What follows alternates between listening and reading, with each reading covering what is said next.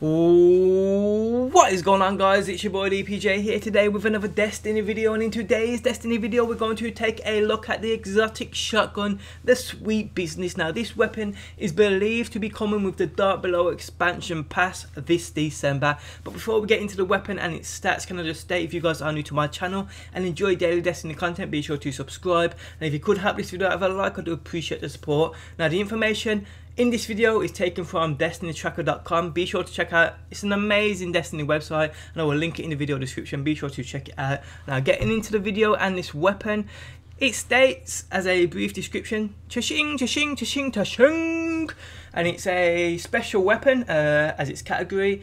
Obviously it's a shotgun, its quality level is 100 and you need to be a level 20 to actually play with this weapon. Then when its rate of fire, isn't too bad. Uh, 34. Its impact is 38. I have seen better, but it isn't too bad. Its range is abysmal, only at 5. Definitely better shotguns in the game at the minute.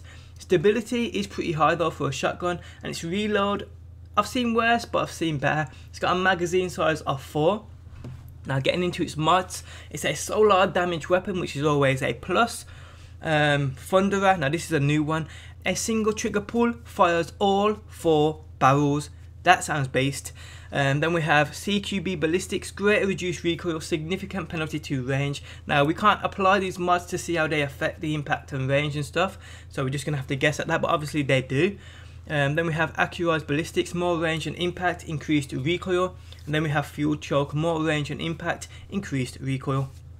Then we have Who's Next, a kill with the final round in this magazine increases reload speed.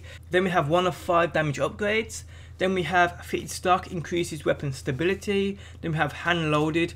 This weapon is effective at extended range. It definitely needs that with that range there. Then we have speed reload. Reload this weapon quicker. Uh, then we have return to sender kills with this weapon, grant bonus ammo directly into the magazine. And then we have another four damage upgrades. Now, all in all, I'm quite looking forward to this shotgun. Over the past, probably, actually since the game come out, I have been a fan of shotguns and running around using a shotgun.